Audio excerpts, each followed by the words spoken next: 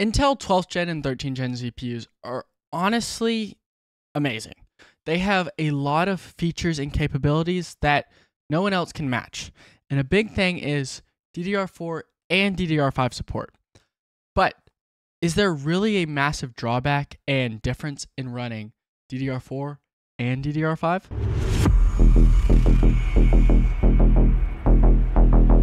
Hey guys, what's going on? It's Chamber here, and today we will be testing DDR4 and DDR5 on my 13900K. DDR5 has gotten really good, especially with 13th gen and the introduction of Hynix A-die, which is where you're seeing that really high performance, high frequency RAM come from. Last week, I got a brand new motherboard, and that was the Z790 Tachyon. I traded a supporter in my Discord for my 10900K for this board, and let's just say this board has been great. This Tachyon allowed me to do 7800 megahertz with ease. So we are going to be comparing 7800 CL36. I'm not going to post the timings just because they are available in my Discord for my supporters. If you're interested, hit the link down below. The $5 and up tier, tier 2 in bankroll, do get access to my OC guide where you can learn how to overclock yourself. And for the DDR4 board, we have the Z690A Pro. This is my old DDR4 board I had. This has 32 gigabytes of dual rank B-die on it. This was running at 4200 CL16, which is honestly really good. And for the price of this board, that's actually pretty good. Let's actually talk about the pricing now. So I just compared like two kind of good DDR4 and DDR5 that are very cheap setups. So take that into consideration when I'm talking about this. So for motherboard, I have the Z690 Edge Wi-Fi Mini. This is an ITX board. I used to actually run an ITX board back a couple of years ago. These are good, but you are losing some expandability. I think your next best option might be like a cheap Dark or Tachyon. So that might be a little bit more, maybe about $50 more, I'd say. So take that into mind when I'm talking about this right here. And then I got 6600 CL34. This is just guaranteed RAM. Obviously, if you want higher speeds, you're going to have to pay for them, but this is going to work on any board. And it's guaranteed to be A-die, which is the main reason I I selected it. And then for the DDR4, I did the Z690-P. It's basically a Z690-A. They overclock the exact same. And then for the memory, the HP V10 RGB, because obviously you need your RGB. This is 3200 CL14. You are going to need to overclock both of these kits to actually get correct performance. If you want to overclock and you don't know how to and you want me to overclock it, link down below. You can get my optimization service. I'll fully overclock your system for you, just in case you're interested. But what's the price difference between these two? You're getting about a 70% price difference, which that might sound like a lot, but I'm going to tell you why maybe the price isn't all you need to think about. Obviously, if you're significantly budget constrained, eh, take everything out. But if you're not budget constrained and you really want this PC to last a while or to kind of get that better value going down the line, you really are going to want to go DDR5. 13th gen is the last DDR4 CPU.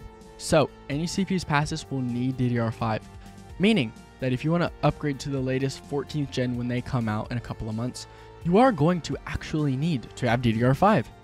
And if you buy DDR5 now, you choose to upgrade later down the road, even if it's not 14th gen, if it's any kind of CPU, you're going to be able to just reuse the RAM. And that's going to save you money when you're going for a brand new build. So definitely think about that when you are trying to purchase a new PC. You also get to flex on your friends that you have high speed RAM, which is way, way more important than anything.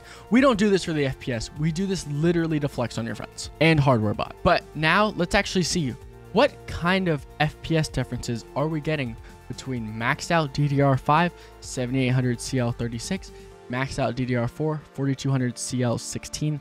All subs and tertiary timings were tuned.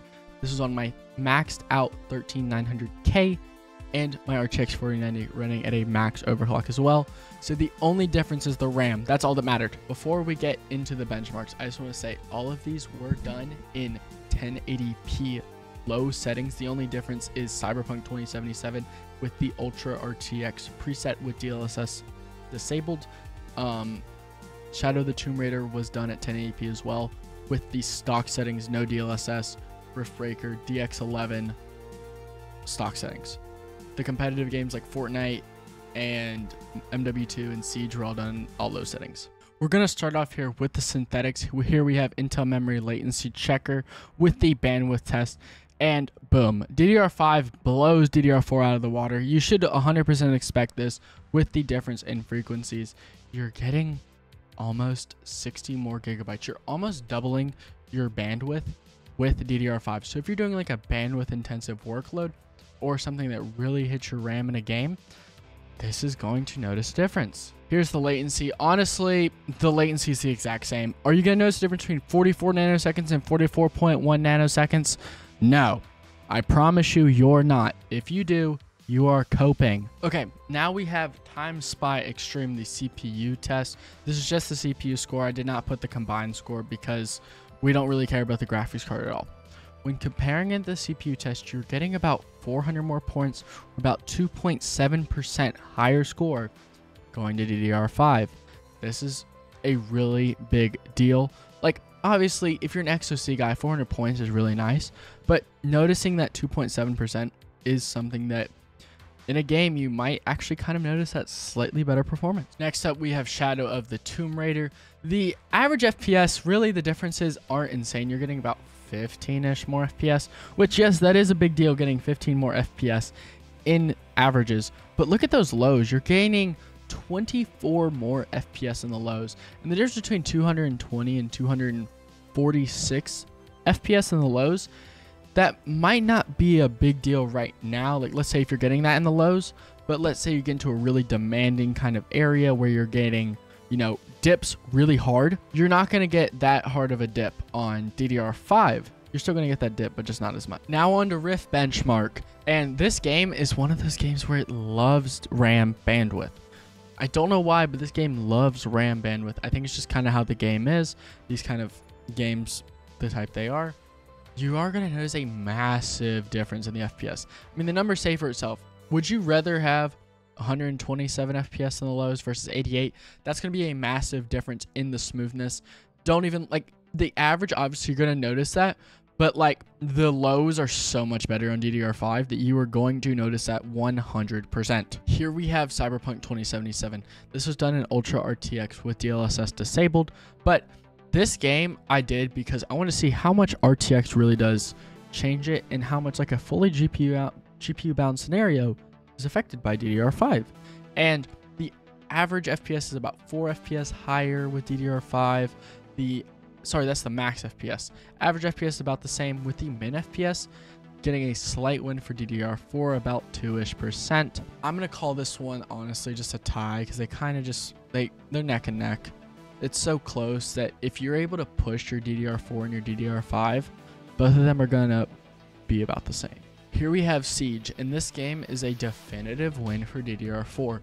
This honestly shocked me, but once again, I say this in every video where I benchmark Siege and compare it. It's a 1000 FPS. If you cannot compete and cannot be good with a 1000 FPS, that slight 30 40 FPS boost isn't going to help you at all. And these games, this game's just so optimized. It doesn't matter what you throw at it. This is, it doesn't matter.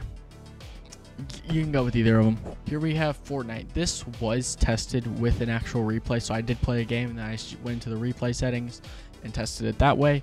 And DDR5 basically just destroys DDR4. This is kind of the same way as Riftbreaker in those kind of performances.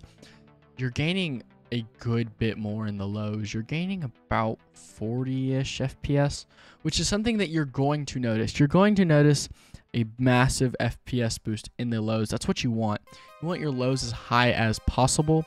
And then average FPS, obviously 200 versus 230 is going to be a big difference. Like you're going to notice that. And the last game we have is Modern Warfare 2 it's so close that it's a tie. You can say DDR5 wins because it gets two more FPS, sometimes three more FPS. But to be honest, it's the exact same thing. I need to start going into the actual game to test in Warzone because the benchmark I feel like doesn't really show differences that much. Even though it is repeatable, it can't really show a difference successfully. And there we have it. Do I recommend DDR4 or DDR5? The choice is basically up to you in my opinion. I'm going to say for most people going forward, DDR5 is the way to go. it is going to be the more smart upgrade is what I'm going to say. You're going to have a lot more future proofness. You can overclock these as well. They're just going to keep getting better as the memory controllers and the motherboards get better as well. You need to think about that.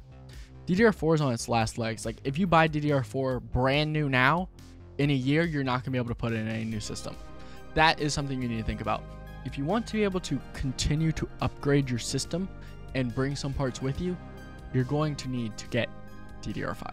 I will leave links down below to some DDR5 motherboards as well as a good DDR4 kit if you are interested.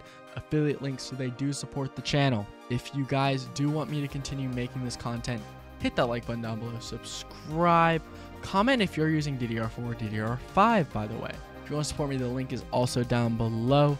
But I hope you guys have enjoyed.